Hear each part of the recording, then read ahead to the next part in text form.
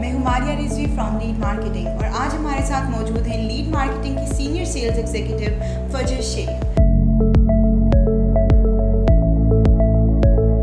अस्सलाम वालेकुम फजर कैसी हैं मैं बिल्कुल ठीक ठाक हूँ मारिया आप कैसी हैं? अल्हम्दुलिल्लाह ठीक ठाक हूँ। आज जिस सोसाइटी की मोस्ट फ्रिक्वेंटली आज क्वेश्चंस के हवाले से हम डिस्कशन करेंगे वो है ब्लू वर्ल्ड सिटी सब जानते हैं कि आपकी क्लाइंट एज बहुत अच्छी है, आपके ब्लू वर्ल्ड सिटी में दुनिया भर से क्लाइंट से आपसे बुकिंग करवाई है आप काइंडली हमारे व्यूवर्स को बताएँगे कि ये सोसाइटी किसकी है और कहाँ पर वहाँ की जी, बिल्कुल, मारिया।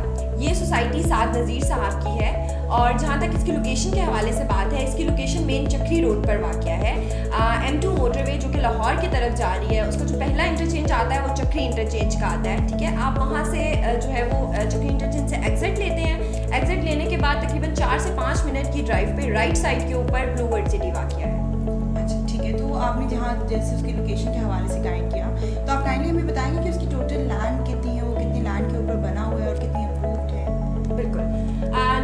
इसकी लैंड के हवाले से बात है, इनका जो फ्यूचर प्लान है, वो है तकरीबन एक लाख कनाल लैंड का, ठीक है? अभी जो इनके पास अप्रूवल्स के साथ जो लैंड इनके पास वाक़ है, वो है फोर्टी सेवन थाउज़ेंड के हिसाब से, जिसके ऊपर कंस्ट्रक्शन और डेवलपमेंट स्टार्ट हुई भी है। ठीक है? पिछले एक साल से अगर आप देखें तो सबसे ज़्यादा जो डेवलपमेंट मेन चक्री रोड के ऊपर सोसाइटीज़ जितनी भी वाक़ियाँ हैं, जो सबसे ज़्यादा डेवलपमेंट हुई है वो अब तक ब्लू वर्ल्ड सिटी में हुई है। डेवलपमेंट के हिसाब से अगर आप देखें तो इनकी जो फोर्टी सेवन थाउज़ेंड की जो लैंड है वो, उस लैंड के ऊपर इनकी डेवलपमेंट भी हो रही है और इनकी कंस्ट्रक्शन भी जा रही है। इनका जो प्लान है, जो फ्यूचर प्लान है इनका वो टोटल एक लाख कनाल लैंड बाकी जो इनको अप्रूवल्स मिले हुए हैं जैसे कि साद नज़ीर साहब ने बताया अभी खुद पर्सनली ये बात बताई कि इनके पास जो अप्रूवल्स हैं वो तकरीबन इनकी फोर्टी सेवन थाउज़ेंड के हैं लेकिन इनका फ्यूचर प्लान जो है वो एक लाख कनाल लैंड का है। अच्छा तो फजर हमें काइंडली बताएँ हमारे व्यूवर्स को कि क्या इस लैंड की एनओसी अप्रूव्ड है? जी बिल्कुल मारिया। देखिए मारिया होता असल में ऐसे है कि जब भी कोई सोसाइटी कोई प्राइवेट सोसाइटी जब डेवलप होती है तो उसके पास एक दो दिन में या बहुत जल्दी एनओसी नहीं मिलता एनओसी नहीं आ जाता।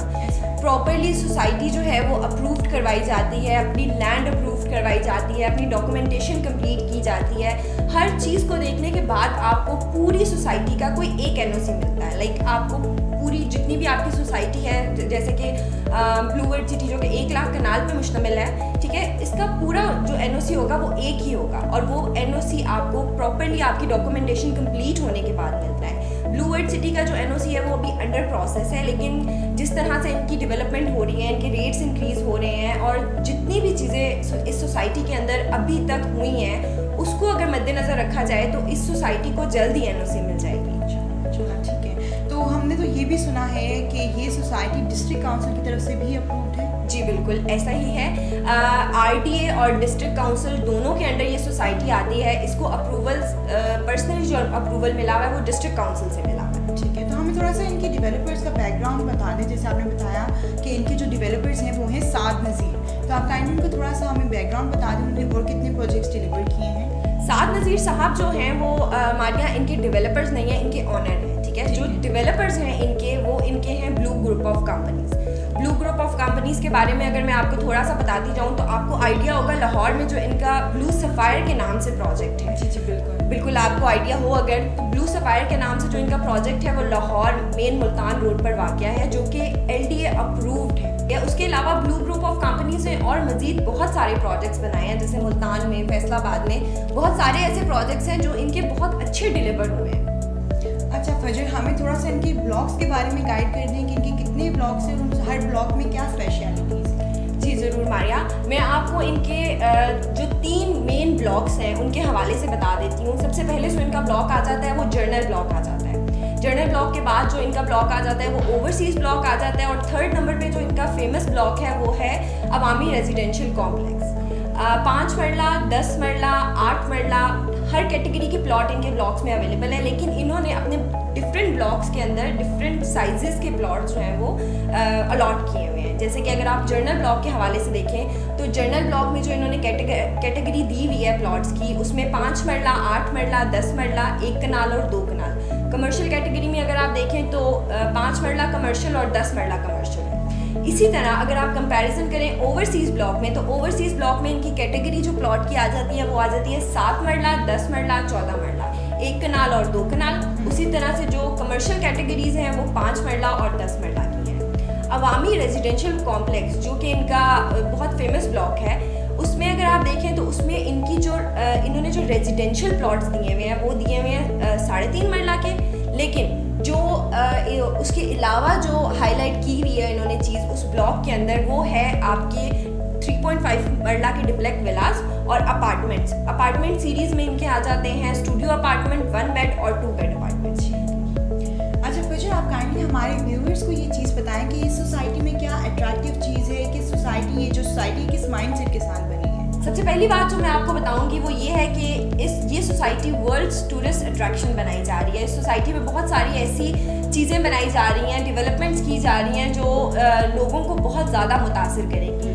जैसे कि आपको आइडिया होगा ब्लू मॉस्क ऑफ़ टर्की का।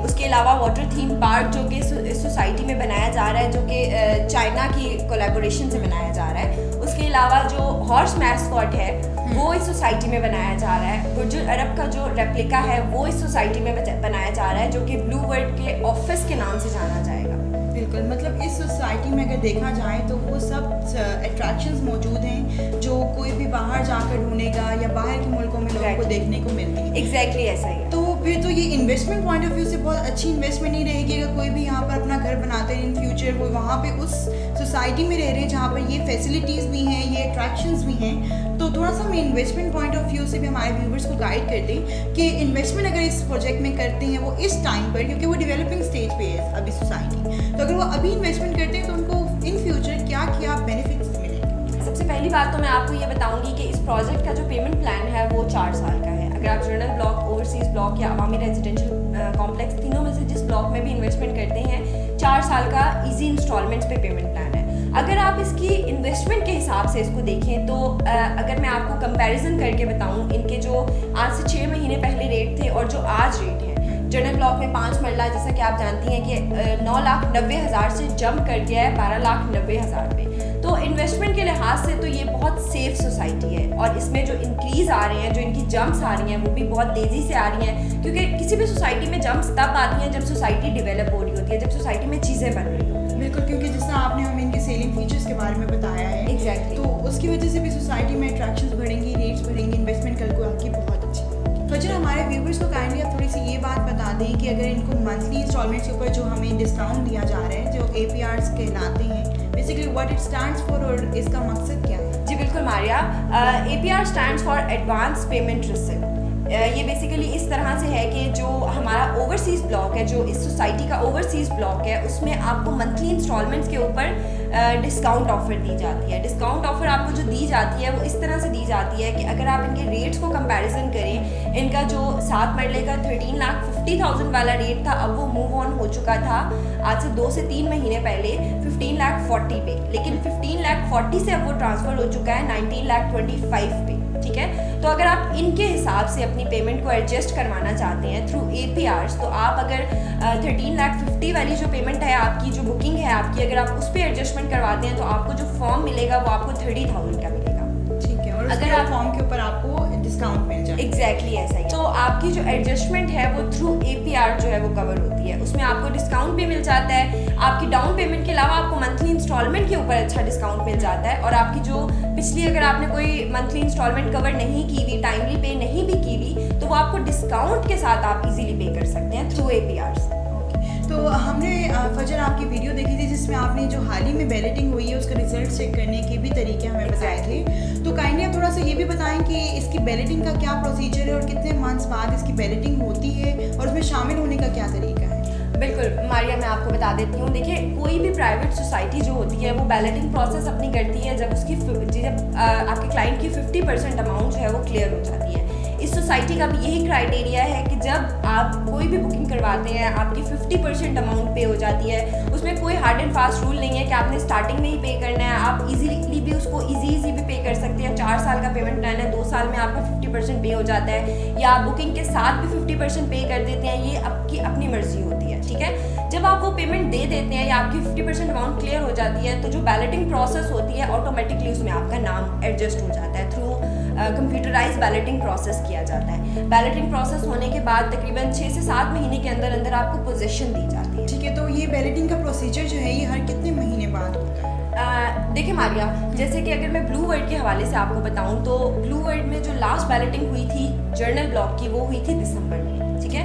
दिसंबर में इनकी बैलेटिंग प्रोसेस होने के बाद अब जो जुलाई में इनकी ओवरसीज़ ब्लॉक की बैलेटिंग हुई है, उसके हिसाब से अगर आप देखें तो सोसाइटी ने जैसे वादा किया था कि हर छः महीने के बाद इस सोसाइटी की एक बैलेटिंग होगी, उस हिसाब से हर छः महीने के बाद इस सोसाइटी की एक बैलेटिंग हो रही है। इसके साथ साथ मैं आप लोगों को एक और बात बताते चलूँ, जो हाल ही में इनकी ओवरसीज़ ब्लॉक की बैलेटिंग हुई है, दो महीने के बाद ओवरसीज़ ब्लॉक की एक और बैलेटिंग है। तो अगर कोई उसका पार्ट बनना चाहता है तो थ्रू एपीआर अपना 50 परसेंट अमाउंट क्लियर करके बैलेटिंग का पार्ट बन सकता है। थोड़ा सा हमारे व्यूवर्स को जो इनके ब्रांड एम्बेसडर्स हैं, जैसे शाहिद अफरीदी साहब हैं, हमायूं साहब हैं, इनके बारे में भी थोड़ा सा बताती चलेंगे कि इनका क्या रोल है ब्लू वर्ल्ड सिटी जी, बिल्कुल मारिया। सबसे पहली बात तो मैं आपको ये बताऊँगी कि जो जैसे कि आपने इनके एम्बेसडर्स के बारे में बात की, जो हाल ही में इनकी बैलेटिंग हुई है, उसमें जो मोस्ट कॉमन शख्सियत थी वो शाहिद खान अफरीदी साहब की थी, जो कि खुद इस बैलेटिंग का पार्ट बने थे। और उसके साथ साथ उन्होंने इस सोसाइटी के साथ ये भी प्रॉमिस किया है कि इस सोसाइटी में जो क्रिकेट स्टेडियम बनने जा रहा है क्रिकेट एकेडमी जो बनेगी, उस क्रिकेट एकेडमी को शाहिद खान अफरीदी साहब खुद उसमें जो लोग पार्ट लेंगे, जो भी क्रिकेट सीखना चाहता है खान साहब खुद जो है वो तमाम लोगों को ट्रेनिंग देंगे। हमारे इनके जो ब्रांड एम्बेसडर हैं वो हमायूं सईद साहब हैं। शाहिद शाहिद खान अफरीदी साहब के साथ इनका ये कनेक्शन है कि उन्होंने ये प्रॉमिस किया है कि इनकी जो क्रिकेट अकेडमी है उसको शाहिद खान अफरीदी साहब ऑन करेंगे। ठीक है फजर तो अकॉर्डिंग टू ये आंसर्स अगर हम लोग देखें तो ये सोसाइटी हमारे क्लाइंट्स के लिए जो भी इसमें इन्वेस्ट कर चुकी है और जो मज़ीद करना चाह रहे हैं, उनके लिए काफ़ी बेनिफिशियल साबित होगी। उम्मीद है कि आपके लिए ये इन्फॉर्मेशन काफ़ी हेल्पफुल रही होगी। मज़ीद मालूम के लिए हमारा फेसबुक पेज लाइक करें इंस्टाग्राम को फॉलो करें यूट्यूब को सब्सक्राइब करें वेबसाइट को विज़िट करें और बेल आइकन को प्रेस करें